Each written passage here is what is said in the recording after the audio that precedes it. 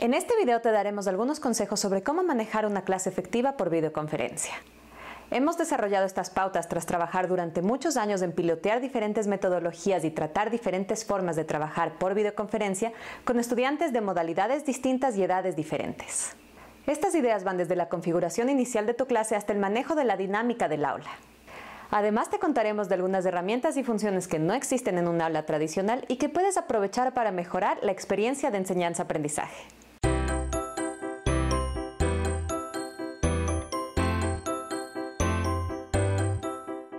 Existen diferentes razones por las que puedes estar buscando trasladar tus sesiones presenciales a sesiones por videoconferencia. Por ejemplo, desastres naturales, una emergencia de salud pública o agitación social. Si tienes que usar sistemas de videoconferencia para dictar tus clases por primera vez, posiblemente tienes varias preguntas de cómo hacer una clase realmente efectiva. En nuestras clases utilizamos Zoom, ya que consideramos que tiene muchas herramientas que son muy buenas para la docencia. Hemos encontrado que la diversidad de funciones que tiene Zoom puede permitir una mejor interacción entre todos los participantes. Sin embargo, existe una diversidad de herramientas de videoconferencia que puedes utilizar para tus clases. Dejamos algunos links en la descripción. Puedes descargar Zoom de manera gratuita en su página web, zoom.us. La versión gratuita tiene una limitación de que puedes utilizar reuniones de 40 minutos con 100 participantes. En algunas situaciones de emergencia, Zoom levanta esta restricción. Además, si es que tienes la versión pagada de Zoom, no existe este límite. Estas son algunas de las cosas que debes hacer antes de tu primera clase por Zoom. Crea una cuenta de Zoom y registra el usuario y contraseña en algún lugar que no vayas a olvidar.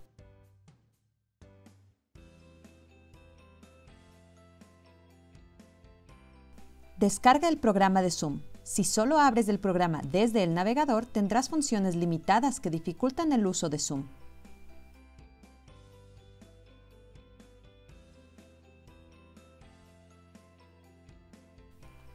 Siempre que vayas a utilizar Zoom, haz inicio de sesión para asegurar tener todas las funciones disponibles.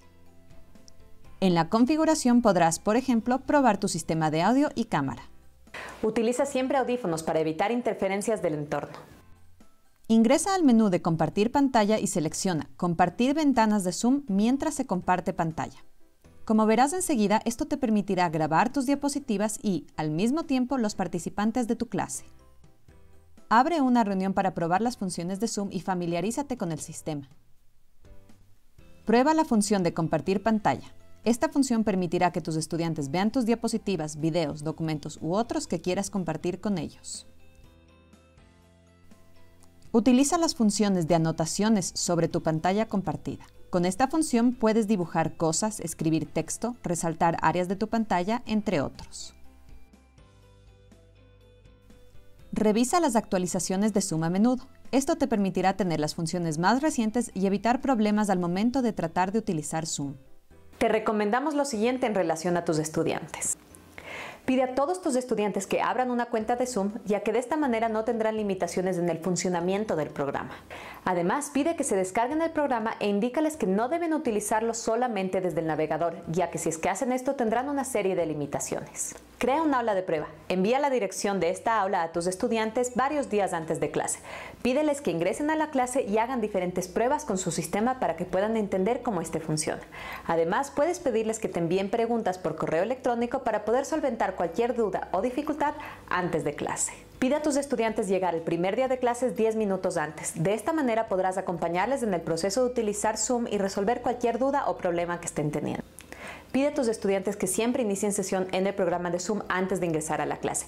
De esta manera no tendrán ninguna limitación en su funcionamiento.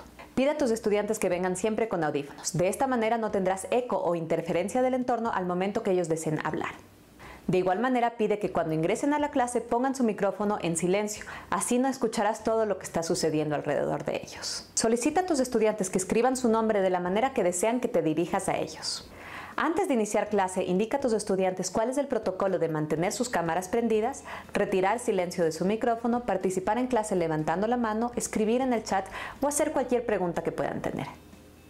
Graba tu clase. Con esto no solo tendrás evidencia de haberla dictado, sino que podrás permitir que los estudiantes que no pudieron estar presentes puedan ver la clase y no pierdan nada del material cubierto este día.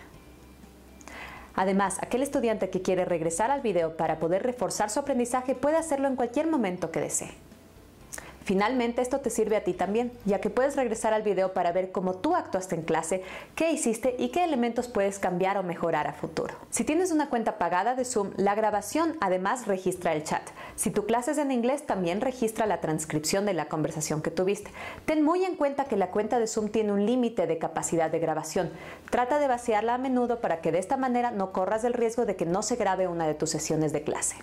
Comparte tu pantalla para que tus estudiantes puedan ver tus diapositivas. Mientras compartes la pantalla, posiciona tus diapositivas a un lado y los participantes al otro.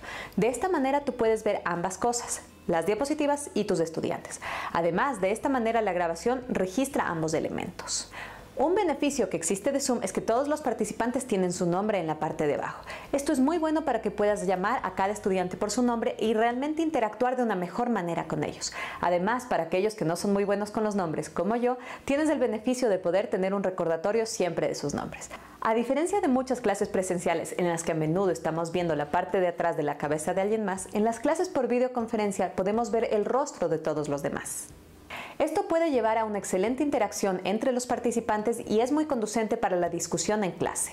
Otro beneficio de Zoom es que puedes ver el rostro de tus estudiantes. De esta manera puedes actuar de acuerdo a sus expresiones faciales. Por ejemplo, puedes darte cuenta si están poniendo atención, si están confundidos o si están distraídos.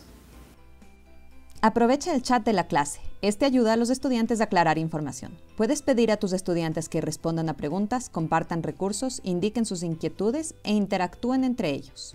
Por otro lado, puedes pedir a tus estudiantes que saluden en el chat y así puedes registrar su asistencia a clase fácilmente. Cuando termine la clase, cuelga la grabación con el chat en el aula virtual para que éste esté disponible en caso de que tus estudiantes deseen revisarlo nuevamente. Además, aprovecha que puedes verte a ti mismo dictando clases. De esta manera puedes estar muy consciente de tu comportamiento y de tu propio lenguaje corporal. Integra más tiempo de discusión en clase, ya que todos están mirándose los unos a los otros. Este es un ambiente que puede ser muy propicio para la discusión. Utiliza las salas pequeñas para este propósito. Puedes saltar de una sala a otra para monitorear la interacción entre los estudiantes. Si no tienes habilitada esta opción, debes configurarla desde tu cuenta de Zoom en el navegador. Si te interesa conocer más sobre algunas de las técnicas que hemos hablado en este video, revisa los links que están en la descripción. Además, si te interesa ver cómo puedes aplicar esto en tu clase, contáctanos.